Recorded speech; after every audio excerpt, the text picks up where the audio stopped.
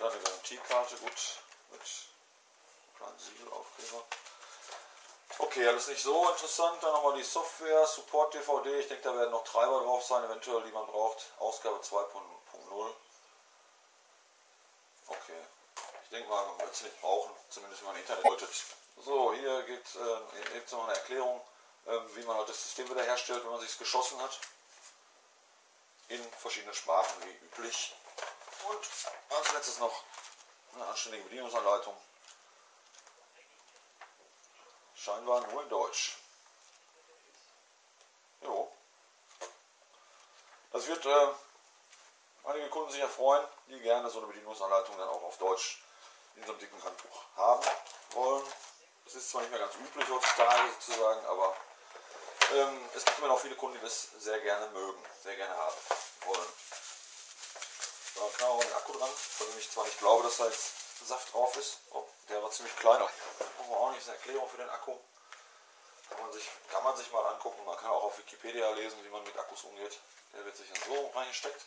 Scheint mir kleiner zu sein als am Tausender. Als am älteren Tausender. Das ist ja auch ein Tausender, aber 1000 HE. So, hier auch gleich mal. Hier kann man so feststellen.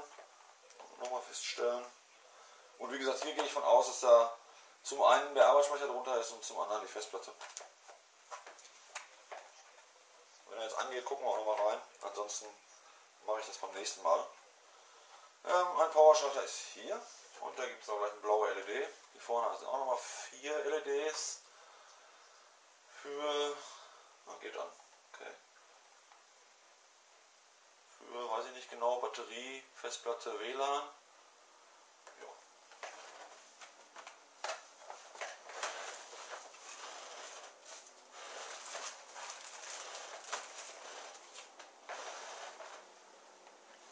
Ja, das finde ich sieht jetzt erstmal noch nicht so besonders hell aus, aber es kann ja auch sein, dass der Bildschirm nicht so hell eingestellt ist.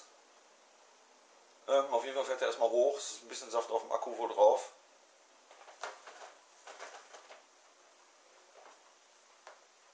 Und wenn ihr noch einen ganz kleinen Moment Geduld habt, dann gucke ich mal, ob ich den 1000er auch dabei finde. Ja, das ist das alte Modell 1000. Der sieht schon ziemlich ähnlich aus, muss man gestehen. Vielleicht ist es wirklich nur die Tastatur sich verändert hat. Ich habe den Eindruck, das Touchpad ist ein Millimeter kleiner geworden, aber das kann mich natürlich auch täuschen. Also offensichtlich wirklich nahezu dasselbe Modell. Die Dinger sind hier schwarz und hier sind sie eingraviert. Ähm, ja, kaum Unterschiede zu erkennen. Gucken wir nochmal gleich von der Seite.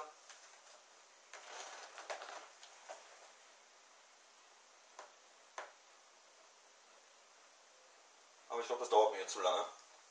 Ja, auf der Unterseite dasselbe, eine große Klappe, vielleicht ein paar mehr äh, Lüftungsschlitze hier im älteren Modell.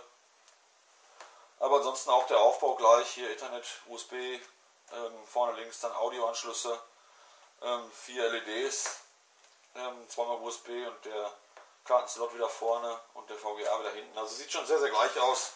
Und ich denke auch, dass ich mich vertan habe, dass der Akku nämlich auch der gleiche ist. Ja, das sieht sehr gleich aus. Ja, gut, ist ein Nachfolgemodell mit einem deutlich besseren Keyboard. Und ähm, da ich ja jetzt beide Modelle hier habe, kann ich sie ja mal gut vergleichen. Ich denke, dass man vielleicht auch mal ein paar Vergleichsbenchmarks machen kann. Der 1000 HE ähm, kommt, glaube ich, mit einer Atom N280 CPU. Ja genau, hat eine Intel Atom N280 CPU und hat auch dieses WLAN Draft N Bluetooth ist auch dran und 6 Zellen Akku, der ähm, 9,5 Stunden aushalten soll. Und das ist natürlich ganz interessant dann zu erfahren, ob er das auch wirklich macht. Hier kommt jetzt in Windows äh, rein, diese Vorstellung, gucken wir, ob es heller geht. Nein, kann er noch nicht. Das heißt, die Treiber sind offensichtlich noch nicht geladen für diese Funktionen, für diese FN-Tasten. Das macht aber nichts, wie gesagt, das mache ich dann nächstes Mal. Soweit erstmal der Asus IPC 1000 HE ähm, im Unboxing. Tschüss.